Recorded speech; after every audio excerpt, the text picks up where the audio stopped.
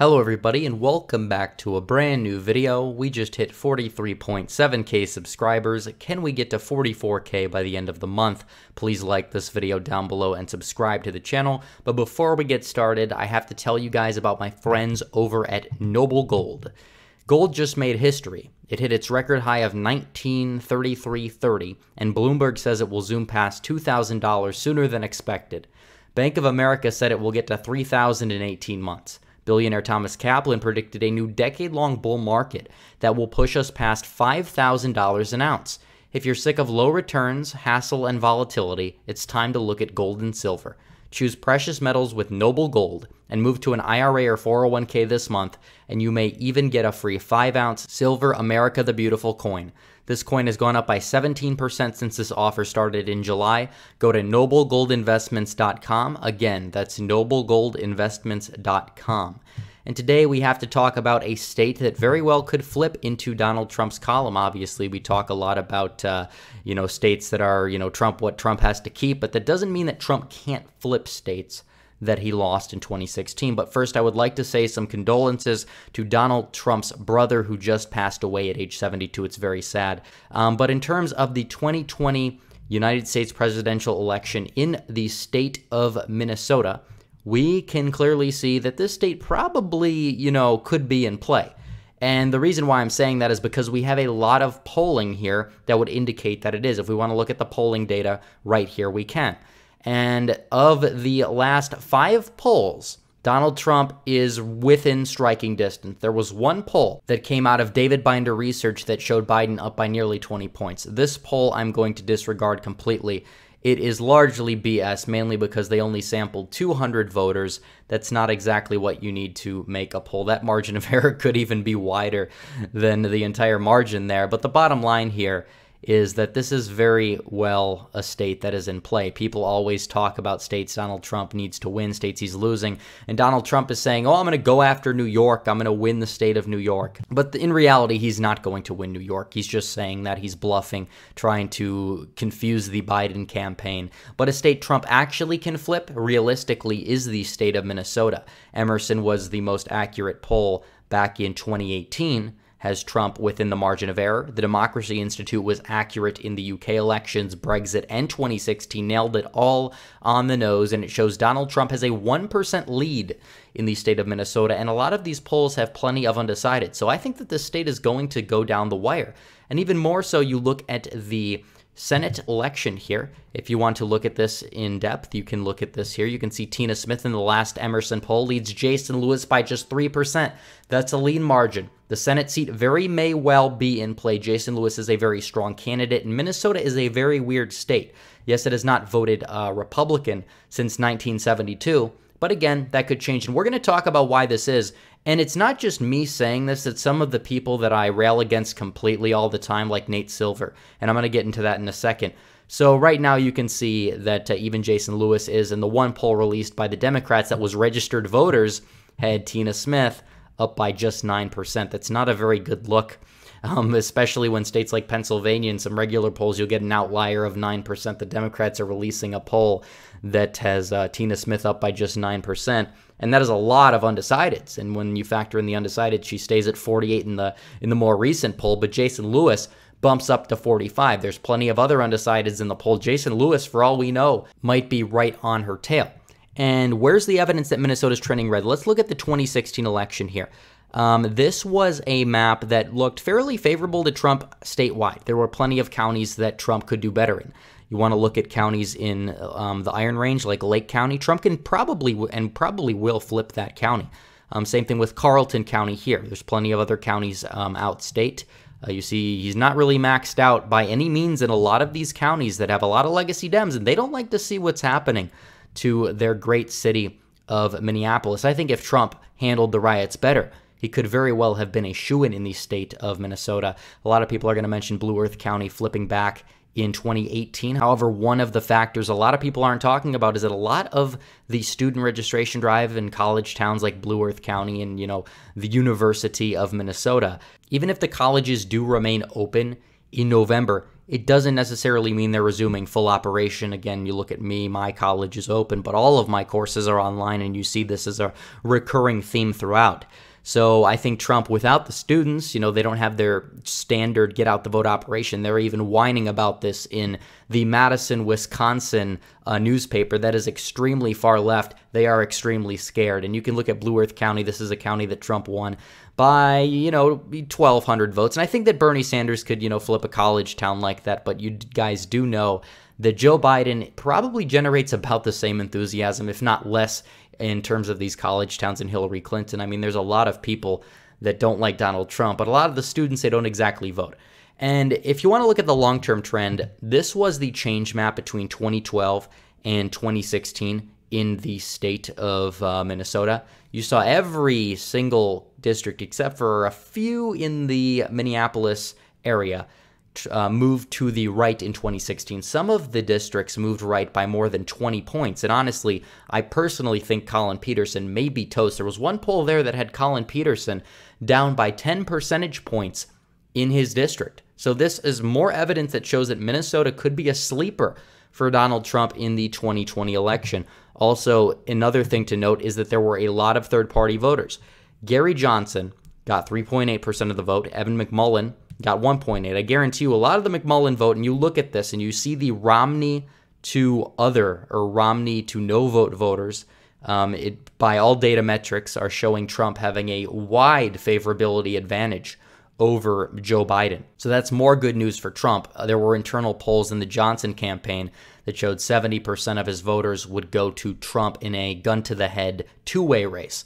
So you look at that, you see there was roughly, you know, add Darrell Castle into it, there were 6% of, um, you know, the vote out there that could have gone to Donald Trump that he didn't get. And there's also some legacy Democrats that could have voted for Hillary Clinton that live in some of these, you know, rural northern counties that could eventually flip to Donald Trump. You never know. But the bottom line here is we know the state's moving right. The midterm was an anomaly, but again, Donald Trump brings voters out to vote that usually don't otherwise vote. And even in the midterm electorate, where the Republicans got completely shellacked. Donald Trump still had a 46% job approval in the state of Minnesota. And we do know that uh, looks like, from the looks of it, that Clinton voters were slightly more likely to turn out than Trump voters in the midterm. We do know how that's how midterms work. So I think if Trump can get full turnout, he may be confident that he has a very good chance in Minnesota. And now it's time to take a look at who else is saying it. You know, the people I like to say the election mafia, and there's many, many um, you know, factions of the election mafia, but I think that 538 is kind of one of those factions.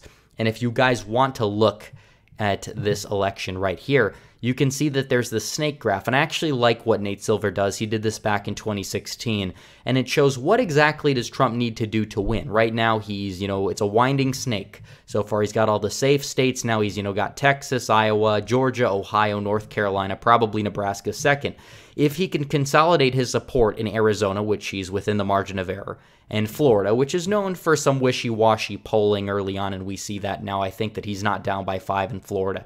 He might be down by two in Florida. That doesn't mean he can't win it by the end of the day. Obviously, they have Pennsylvania as the tipping point state. I like to talk about Pennsylvania and say that it is the state that is going to go down the wire. It could be the closest state. It could be a while before we know who wins it. And if that is the case, then, you know, the election will be determined by it.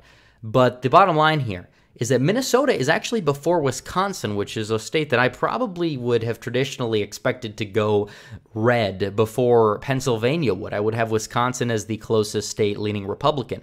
Nate Silver seems to think that Minnesota will be closer than Wisconsin and Michigan and New Hampshire and Nevada. Michigan's all the way back here by Maine at large in Colorado.